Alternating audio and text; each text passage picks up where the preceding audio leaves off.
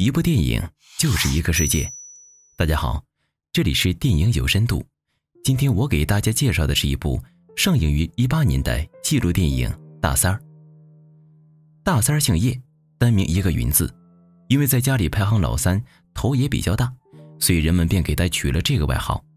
大三儿今年四张多，奔五张的人了，可是身高却只有一米一。用他自己的话来说，就是上天似乎特别眷顾他们这个家庭。两个哥哥多年前因为车祸去世，母亲也在一年前去世，现在只留下了大三儿和八十多的老父亲一起生活。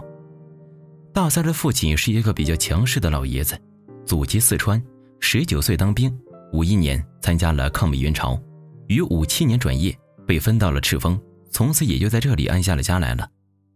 父亲干了一辈子运输，大哥二哥也接了他的班，虽然后来出了事儿，但是大三儿依旧挺向往那种。开着车到处跑的生活，于是九六年天津淘汰大发的时候，大三儿便和朋友弄了一辆回来，寻思在本地跑跑客运，可父亲却说什么也不同意。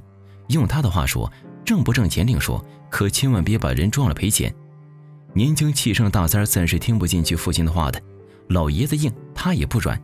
不过得分对谁，对生活哪有什么硬汉呢？关于大三儿的那次创业。用他的话来概括，就是买了破车，跑了破线，最后却赔了好钱。于是大三儿也就安静下来，进了厂，拿着一根比他还高的拖把，在厂里的各处楼梯徘徊。不过表面上看着大三儿好像确实是认命了，但是他的心里却总还有一个梦想。一五年春天的时候，大三儿和发小阿皮坐到了一起，他隐晦地提起想要去一趟远方的梦想。远，阿皮笑着说：“那可是奔了俄罗斯了。”大三儿也笑。说俄罗斯经济不好，别人领导人也挺忙的，咱就别过一天乱了。笑闹一阵，大三说起了他的梦想，那就是去一趟西藏。这个梦想藏在他心里很久了。还是零二零三年，他在朋友圈看到了阿皮在西藏拍的星空的照片，那一刻，大三就被击中了。而在一一年的时候，他也曾婉转的、隐晦的向阿皮提过，如果再去西藏，能不能带上自己？而阿皮也当时婉转的、隐晦的表示了拒绝。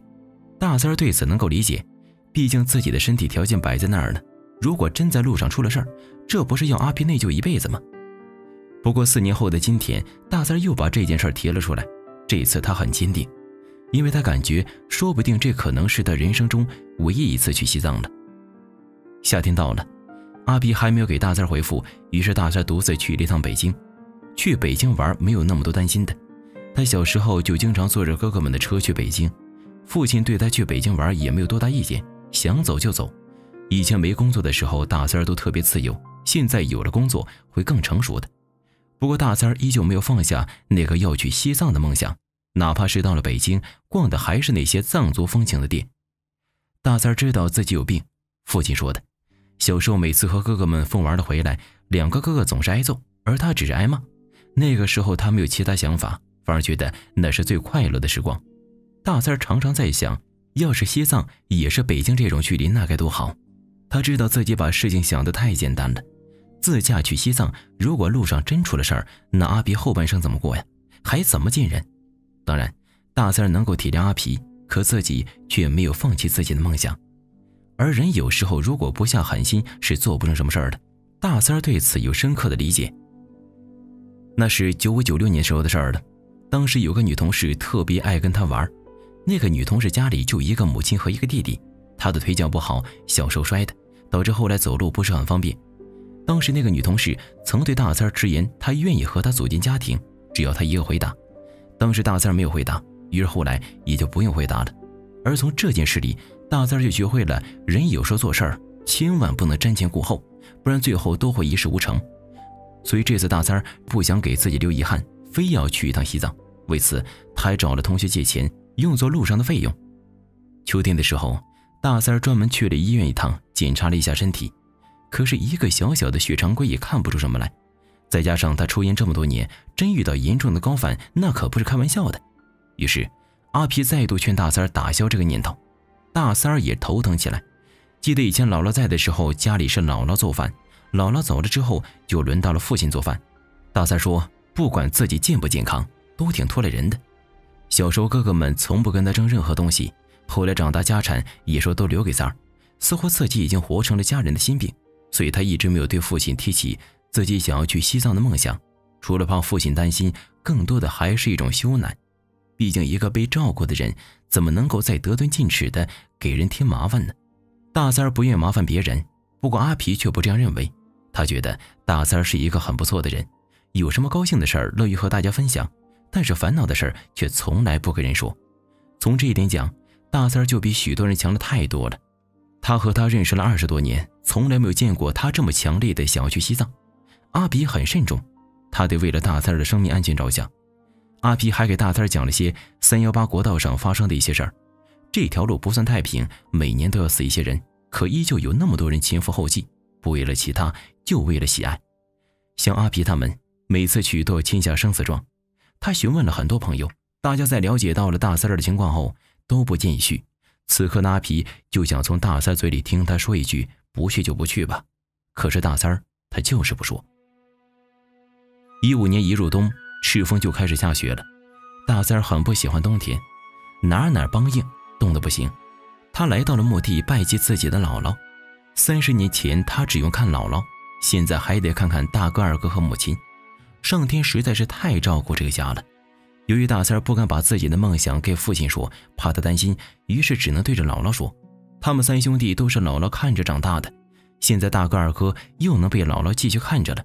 而大三儿则希望姥姥能够保佑自己，他也不能给人家承诺什么绝对不会出事儿，毕竟这世上根本就没有绝对的事儿，所以他只能给阿皮时间，让他慢慢考虑。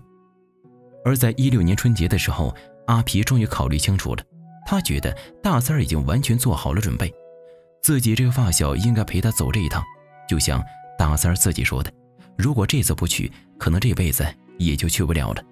人应该是浪漫的，为了梦。不惜一切又如何？于是，在一六年夏天的时候，阿皮带着大三上路了。到了成都，见稍作停留，去逛了逛锦里。虽然正经成都人基本不逛锦里，但大三等人依旧玩得高兴。而这时，父亲的短信也发来了。之前出门时，大三儿没有说真话，他告诉父亲说自己和朋友去四川玩一趟。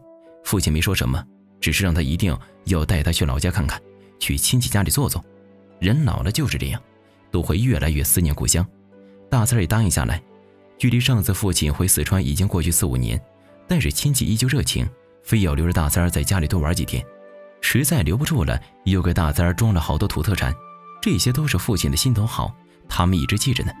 于是大三儿照收了下来，并照了合照给父亲发过去，然后就继续上路。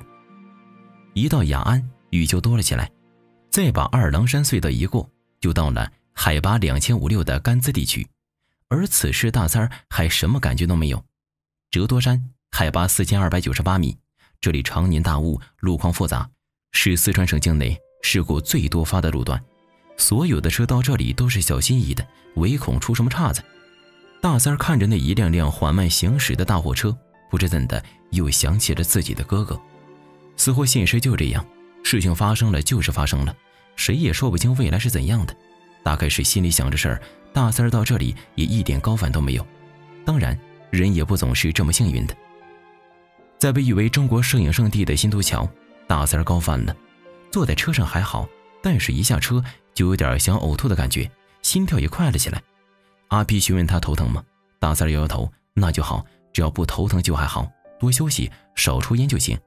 毕竟大三儿从没有上过高原，一下上到三千多，肯定会有点反应。大三儿听了阿皮的话，也就放下心来。可是阿皮的心里却并不轻松，他一路上都在测着大三儿的血氧浓度。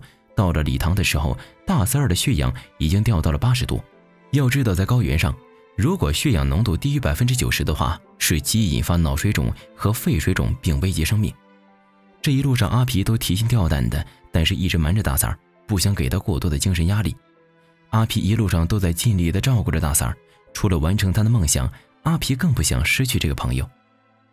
过了人无错，大三父亲电话打了过来，原来是这几日大三没有和父亲联系，老爷子担心他们。大三依旧没有给老爷子说实话，只说自己和朋友还在四川转悠呢。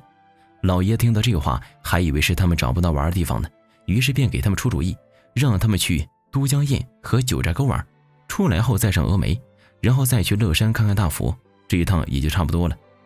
老爷子路线倒是规划挺好。但是他不知道的却是，此时大三儿已经进藏了。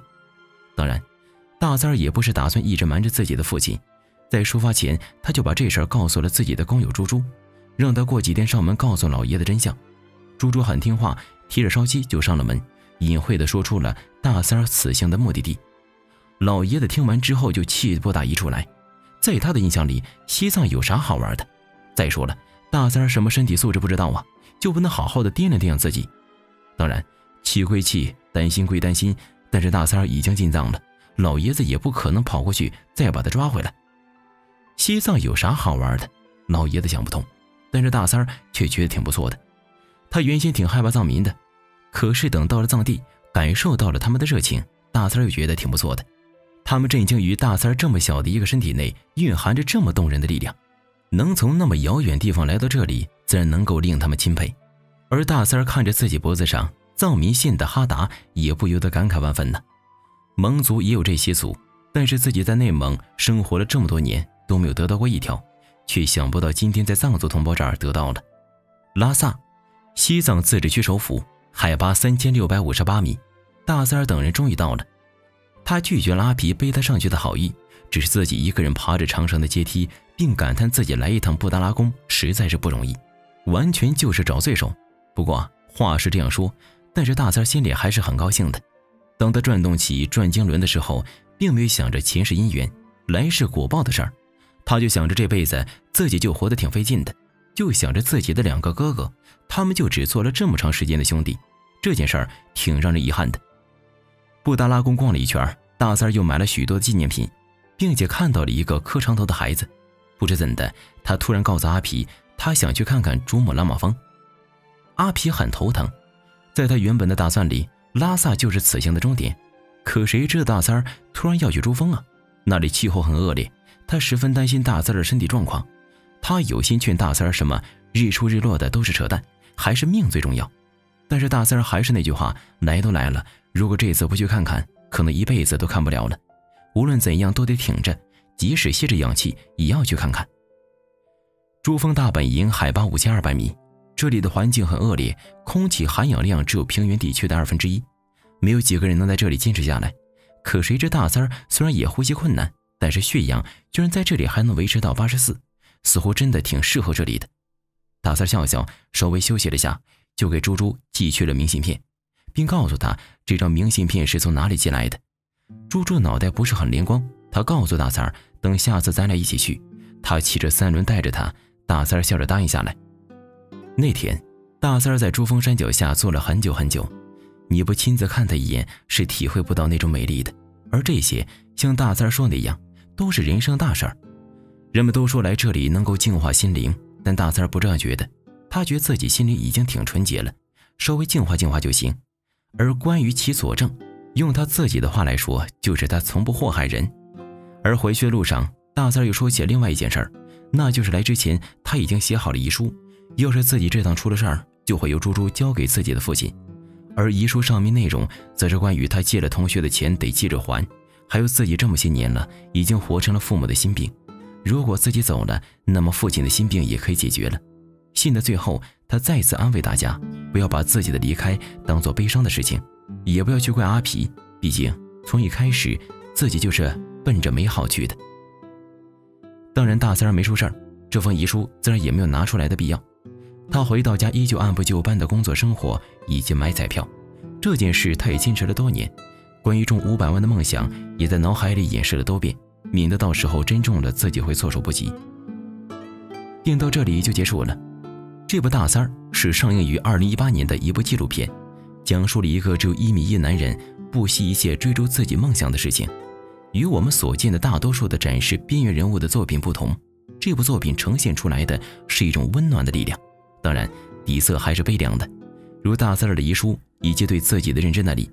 但是我更愿意选择性的欣赏那些比较正面东西，就像我认识的一个准备卖了房自驾全国的哥们儿和一个从南京骑车去拉萨的姑娘，我愿意把他们的这种行为看作一种正面的力量，因为他们不像我。